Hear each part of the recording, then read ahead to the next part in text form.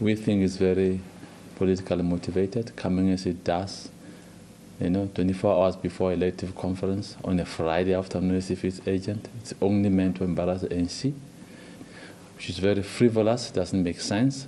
It's just a necessary sensation. I mean, we paid them 20 million even after the show in January was rained out. They didn't perform.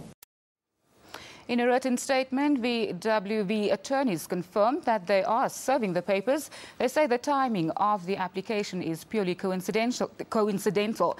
WV says the ANC has made it clear that they are unable to pay the money. They believe that this is the only way to recoup what is owed to them.